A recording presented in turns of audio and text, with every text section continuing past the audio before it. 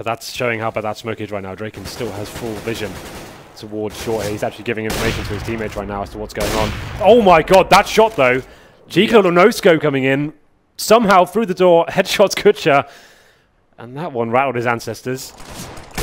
What? One's in the CT spawn. I'm not going through this. Watch this shit, watch this shit.